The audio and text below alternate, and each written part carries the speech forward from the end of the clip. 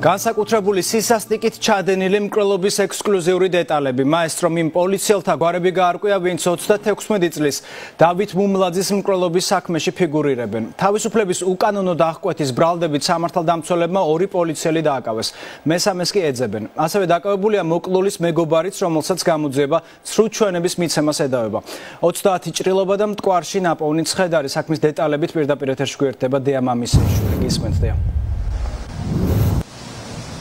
მიხელ ღუბიანური და დიტო დუღაშვილი მაესტროს ექსკლუზიური ინფორმაციით სწორედ ეს ორი პირი არის ის სამართალდამცველები რომლებიც სკანდალურ მკვლელობაში ფიგურირებენ. ისინი ჩვენი ინფორმაციით ქვემო ქართლის პოლიციის თანამშრომლები იყვნენ ახლა კი გამოძიებას ისინი უკვე პასუხისგებაში ხავთ მიცემული და პოლიციელები ისთვის დიღმის პოლიციის მთავარ სამმართველოში არიან მოთავსებულები, თუმცა მიხელ ღუბიანურის და დიტო დუღაშვილის გარდა ახლა გამოძიება კიდევ ერთ პოლიციელს ეძებს დავით მიროტაძე ამ დროისთვის დამცველები სწორედ მისი ადგილსამყოფელის დადგენას ცდილობენ ახლა.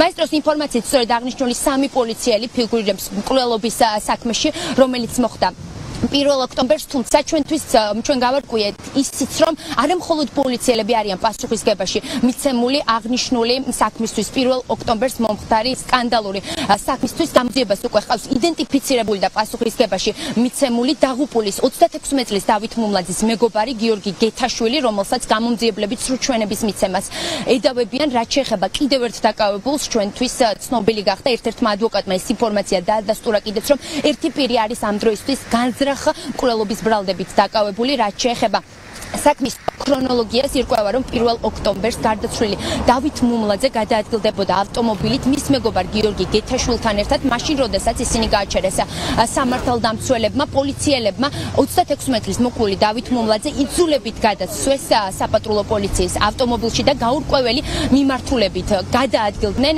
დანიშნულების ადგილზე კი ჩვენი ექსკლუზიური ინფორმაციის თანახმად გარდაცვლილს დახვდა ერთ-ერთი პირი რომელიც არის ეგრეთ წოდებული კრიმინალური ავტორიტეტი ქურდული ქართული სამყაროს წევთან დავით მუმლაძეს როგორც ირკვევა წარსულში საქმიანი გარიგება აკავშირებდა უფრო კონკრეტულად. ეგრეთ წოდებული კრიმინალური ავტორიტეტი მისგან ითხოვდა. თანხას რაზეც გარდაცვლილმა უარი განუცხადა და სწორედ ამ უარის შემდეგ მოხდა.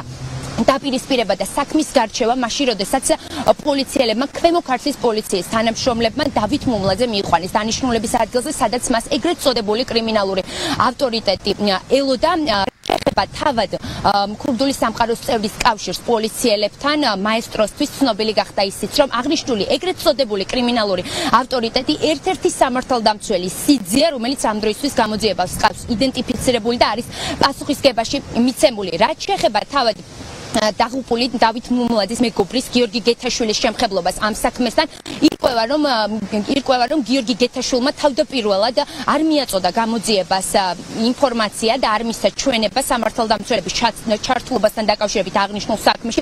გიორგი გეთაშვილმა თავდაპირველად ჩვენების მიცემის დროს თქვა რომ აღნიშნულ საქმეში პოლიციელები არ ფიგურირებდნენ და რომ იძულებით დაღუპული მათ მანქანაში არ გადაუსვან თუმცა მომდევნო ჩვენების დროს უკვე დაღუპულის მეგობარმა განაცხადა, რომ სწორედ პოლიციელებმა იძულებით მისი ავტომობილიდან საფატრულო პოლიციის მანქანაში გადასვეს 36 წლის დავით მუმლაძე და გაურკვეველი მიმართულებით წაიყვანეს. სწორედ ეს გახდა გამოძიების დაწყების საფუძველი გიორგი გეთაშვილის წინააღმდეგ და ამ დროისთვის გამოძიება მას სრუჩვენების მიცემას ედავება, თუმცა მაესტროსთვის არის კიდევ ერთი დეტალი ცნობილი, ამ დროისთვის პასუხისგებაში არის კიდევ ერთი პირი მიცემული, მას გამოძიება ედავება განზრახ მკვლელობას.